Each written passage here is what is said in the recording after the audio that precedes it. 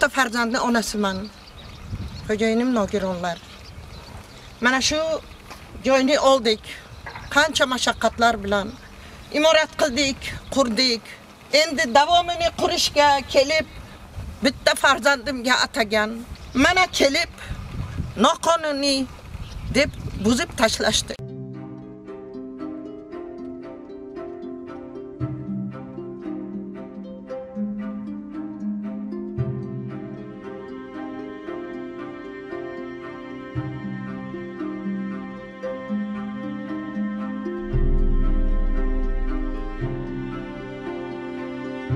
Ikki ming birinchi yil amerikada borib o'n ikki yil ishlab mana shu yerni oldim.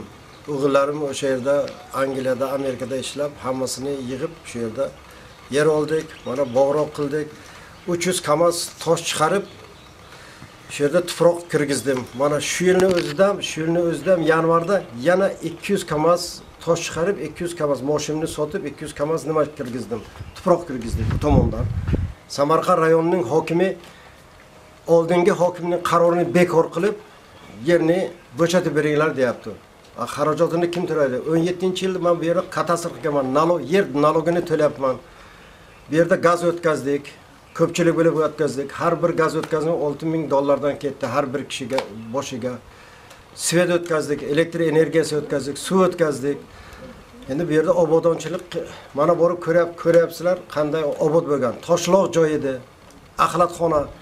Konstitutsiya yozilgan o'zbekiston grajdani qonun asosida himoyalanadi deb lekin himoyalash qanaqa yo'qku Ma'lum bo'lishicha, o'sha e, 5 yil oldin va undan keyingi yillarda bir e, o'ttizdan 30 dan ortiq tadbirkorga mana shu yerdan tadbirkorlik obyektlarini qurish uchun, tadbirkorlik ishlarini olib borish uchun e, yer maydonlar ajratib berilgan. Bular ishonch bilan kredit olgan, o'sha joylarni obod qilgan. Mana bu joyni qarangda, mana shu yer toshloq joy bo'lgan. Hech narsa o'smagan. Agar bu joy o'sib e, obod bo'lgan edi, bularga bermasdi. Chunki bu o'rmon xo'jaligining joyi edi. Toshloq bo'lganligi uchun bularga bergan. Mana bular har bittasi 300, 400 moshundan katta-katta kamazlarda shag'alni olib chiqib tashlab, uning o'rniga soz tuproq olib kelgan. Undan tashqari mana obyektlar qurgan. Bu bitta hali korxona. Bu yerda mana Firdavs o'zi aytib beradi.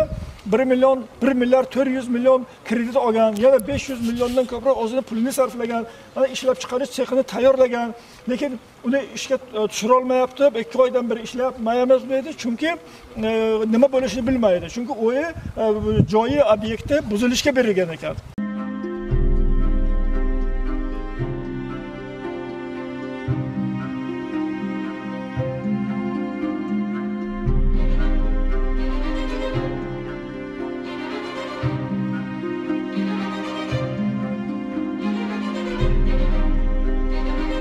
katta o'g'lim birinchi oilasidan ayrilgan edi ikkita bola bilan ikkita bola uchun xo'jayinim jon fido qilib olti sotix yer olgan edik ne umidlar bilan.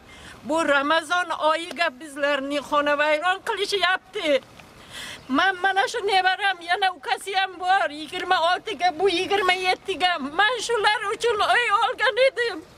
Shularni uy joyli qilay deb shular uchun olgan edim. Mana bu ramazon oyiga bu nima degan gap musulmonchilikka to'g'ri dikondiskon ishlarni qilishyapti. Chumchuqni ham uyini buzish uval edi. Hozir bizani xonavayron qilishyapti. Men qayerga boray